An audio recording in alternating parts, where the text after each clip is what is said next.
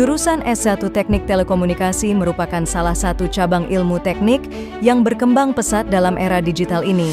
Melalui kombinasi pengetahuan tentang sinyal, sistem komunikasi, dan teknologi informasi, mahasiswa jurusan ini memperoleh keterampilan untuk mendesain, mengembangkan, dan memelihara infrastruktur komunikasi modern. Program studi S1 Teknik Telekomunikasi merupakan salah satu program studi terlama di Institut Teknologi Telkom Purwokerto.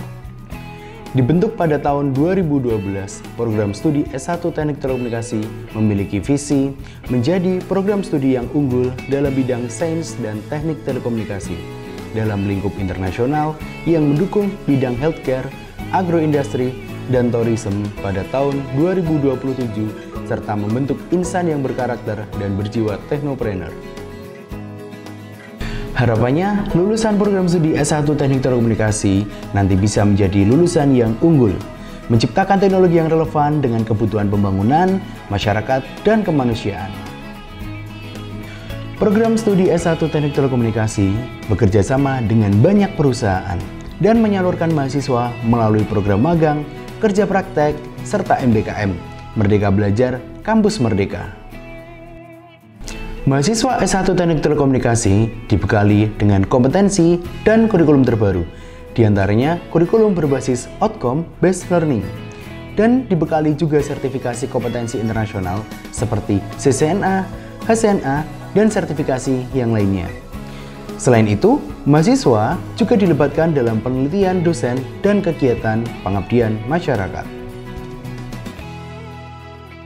Saya masuk ke S1 Teknik Telekomunikasi Institut Teknologi Telkom Purwokerto karena saya ingin mengembangkan skill saya di bidang jaringan, terutama wireless.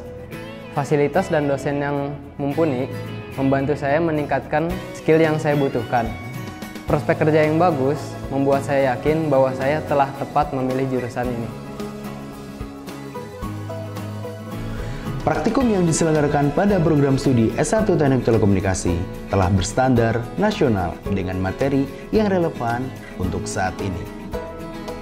Program studi teknik telekomunikasi memiliki tiga peminatan atau keahlian, yaitu Wireless and Signal Processing, Network Communication, dan Elektronika dan Kendali. Kelompok keahlian Wireless and Signal Processing uh, mewadahi kelompok keahlian dosen-dosen yang memiliki kompetensi di bidang komunikasi nirkabel dan juga aplikasi sinyal processing.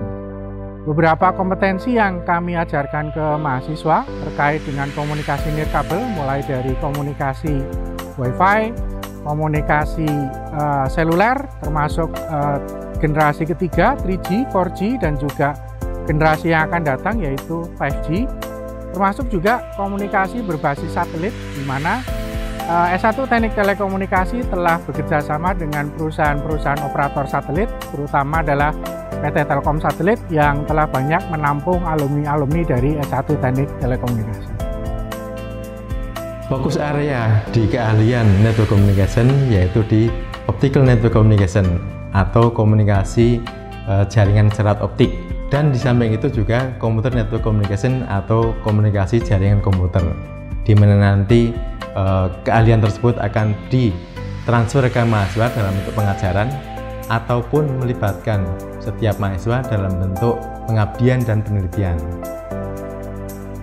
Kelompok keahlian elektronika dan kendali memiliki fokus riset di dalam teknologi Internet of Things, robotika, dan transmisi data.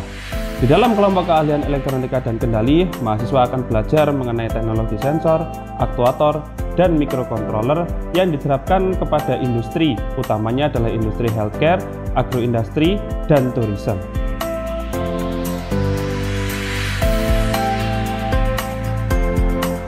Jurusan S1 Teknik Telekomunikasi mempersiapkan mahasiswa untuk menjadi ahli dalam merancang, mengelola, dan memelihara infrastruktur komunikasi yang vital dalam masyarakat modern. Dengan perkembangan teknologi yang terus berlanjut, peran lulusan jurusan ini dalam menyediakan konektivitas global menjadi semakin penting.